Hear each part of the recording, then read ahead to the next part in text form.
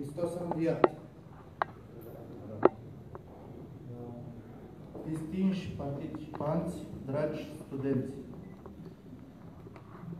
vă urez bun venit la conferința We Are NATO. Este un privilegiu pentru mine să pot adresa mesajul de început pentru această conferință. Îmi revine deosebită plăcere de a face acest lucru cu ocazia celei mai mari expoziții de tehnică militară organizată la noi în țară, chiar la a șaptea ediție. Încă de la începuturile sale, scopul esențial al alianței a fost de a asigura libertatea și securitatea tuturor membrilor săi prin, politice, prin mijloace politice și militare. Protejarea democrației, apărarea drepturilor omului și supremația legii sunt valori comune ale statelor membre NATO care și-au luat un angajament de cooperare reciprocă fundamentat pe indivizibilitatea securității acestora.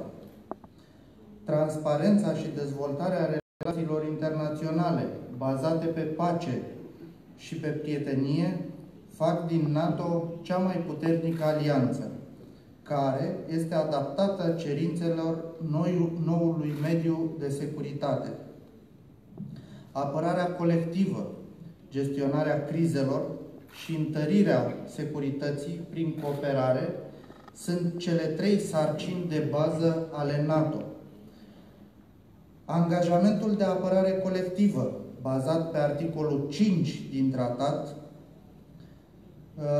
prin care un atac îndreptat împotriva unei țări aliate este considerat un atac îndreptat împotriva tuturor statelor, este și va rămâne angajamentul fel al NATO.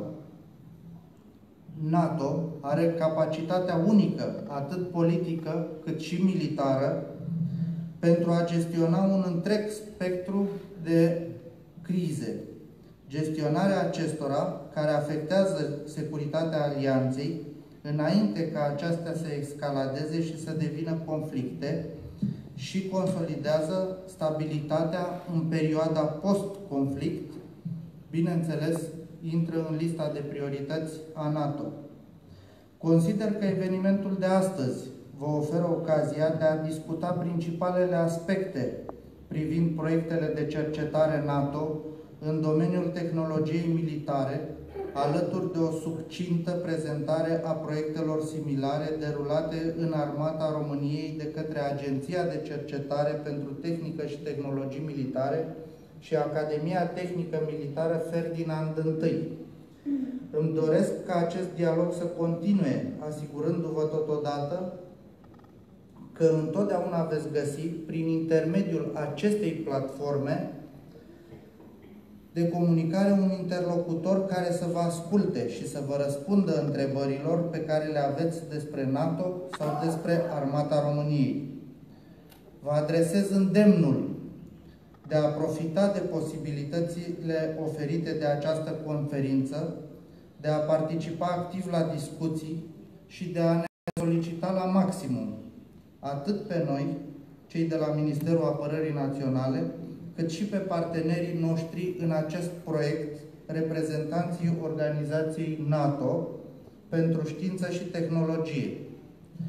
Vă mulțumesc pentru atenție și pentru interesul manifestat față de ceea ce înseamnă cercetarea în domeniul tehnicii și a tehnologiei militare. Așa să ne ajute Dumnezeu. Thank you.